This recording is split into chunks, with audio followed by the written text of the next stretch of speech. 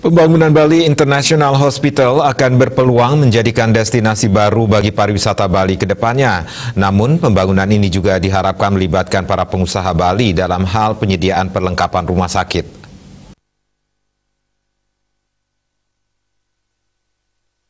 Pembangunan Rumah Sakit Internasional Bali merupakan langkah yang sangat besar dilakukan oleh pemerintah Indonesia. Bali bukan saja sebagai destinasi turis, melainkan juga memiliki peluang untuk menjadi destinasi hal turism.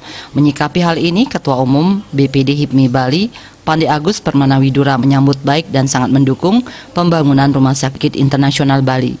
Namun selain pembangunan Rumah Sakit Internasional ini, para pengusaha muda berharap bisa dilibatkan juga dalam hal perlengkapan di rumah sakit tersebut. Dalam hal ini, HIPMI Bali tentu ingin mencetak pengusaha baru ke depannya agar bisa bersanding dengan pengusaha ternama di Indonesia.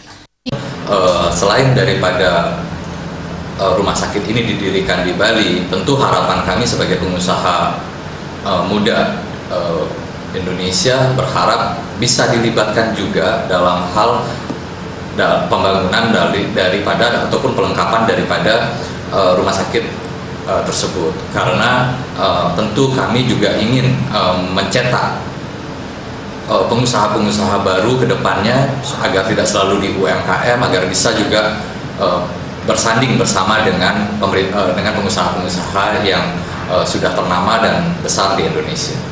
Nah, harapan kami ada pemerataan agar bisa semua diberikan kesempatan uh, karena saya yakin mereka juga memiliki kualitas yang baik, cuman uh, saat ini kesempatan yang belum ada. Gus Pandey menambahkan, pembangunan rumah sakit, bandara, dan infrastruktur lainnya tentu akan membuat Bali semakin indah dalam jangka waktu yang panjang. Namun di sisi lain, keadaan perekonomian Bali dalam jangka waktu yang pendek juga harus diperhatikan. Pihaknya berharap ada kebijakan khusus untuk Bali agar para pengusaha bisa bertahan di tengah pandemi COVID-19. Jangan sampai jika fasilitas-fasilitas tersebut sudah selesai dibangun, justru para pengusaha Bali menjadi penonton di rumah sendiri. Andika Bali TV